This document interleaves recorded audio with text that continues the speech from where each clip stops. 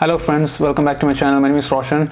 And it's been a while since I made a video and uh, this video is very similar to the uh, video that I made a year ago uh, which was uh, Windows 7 Crux edition which is uh, you know a custom Windows 7 build. So it was meant for the you know lower hardware PCs and what I'm going to talk about today is Windows 10 uh, modded build. So it is a custom Windows 10 build and lots of features are disabled are enabled by default. And if you're familiar with android custom rom you should get the idea of a custom windows 10 build so you won't receive a windows 10 update for the future but uh, for the for the time being it's based on the latest may 2019 update and you should be future proof for like uh, six months or so. After that uh, if developer finds it uh, easy for himself then he will uh, surely give an update to this current build and we'll get the latest features as well. So let's get into my computer and I'll give you a brief overview. So here we have the details for the modified ISO and you can see the the name of this uh, modified ISO is called Windows 10 Zero Extreme Edition 2019 and uh, build number is 18362.175 and it is based on 19H1 development branch and you can verify this with the you know latest windows 10 update. So this is the stable windows 10 build. And uh, there are several features um, you know available for this. And one of the things that uh, makes me happy at least uh, makes most of them happy is the permanent activation. So as you are using a custom windows 10 build you won't be able to activate it uh, with your you know normal license key because it won't be uh, you know it won't be um, connected to the uh, you know Microsoft servers. So it is activated by default. And if you're going to download this and install this please do read uh, all, all of the stuff in here. And uh, I did not take any responsibility if you face any issue because this is not provided by me. This is you know the author is White Death. Uh, he's the one who made the ISO file and uh, I'm just giving you a heads up. Uh, as you can see we have the file size is 3.96 gigabytes. And um, one of the things that made me curious about this is the you know the last here you can see um, yeah you can see the deactivation deactivation of the startup time delay disable application time enabling a larger system cache uh, if you're using a hard disk or SSD improved disk check time which is 5 second improved system stopping speed improved Windows stress response reduced launch time for desktop application at start and folder and file cache active. So you can see lots of stuff have been modified and when I read this a feeling comes to my mind that it will be far more faster uh, rather than uh, than if you install a regular Windows 10 you know anything. So it should be faster and we are going to try it. So you need to make a bootable USB and so you will need at least 8 gigabytes of USB uh, in a pen drive. So you need that. If it is a 3.0 you know USB 3.0 it will be much faster for installation. So whatever you have but use a faster USB it will be good.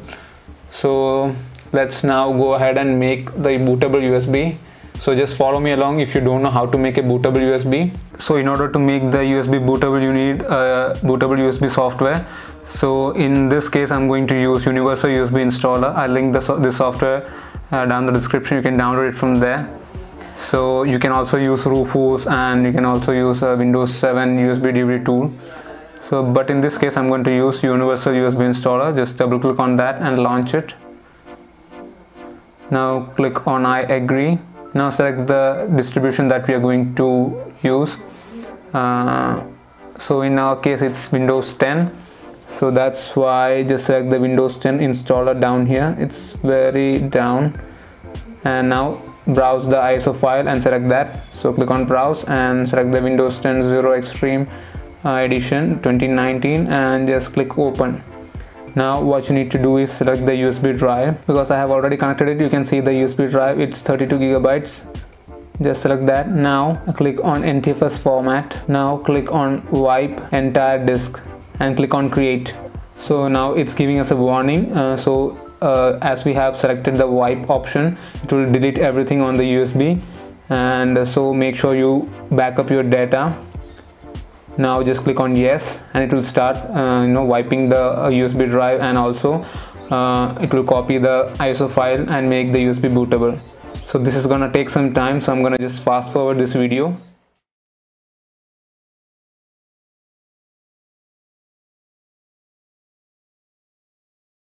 So now power off your PC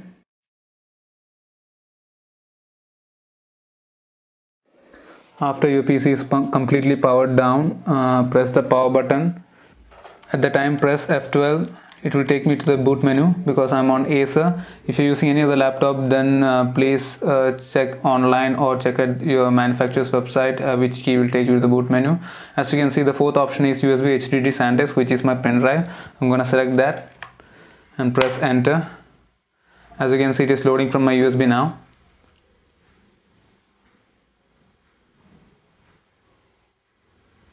so I'll be fast forwarding this process uh, you know uh, bit by bit so that it does not take much time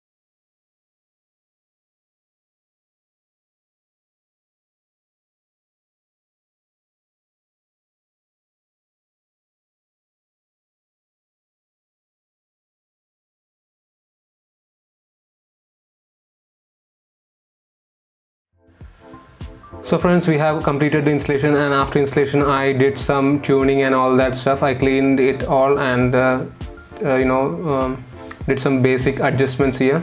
So as you can see this is the you know uh, Windows uh, 7 like start button.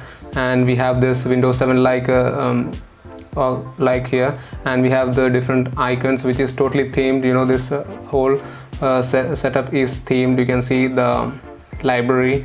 You can see the icons here and all that and let me show you the uh, activation. You can see the edition is windows 10 Zero extreme edition 2019 and it is activated with the digital license.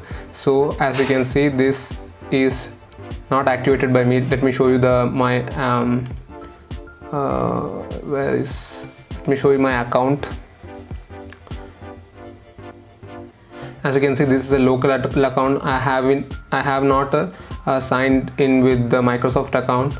So can see it is activated by default. And uh, let me show you the windows defender. You can see the windows defender is uh, uh, disabled by default. So you can see everything is grayed out and this won't work here. You will have to install uh, antivirus uh, separately. So that is one of the things you need to do. Other than that this uh, particular build feels very fast and very smooth.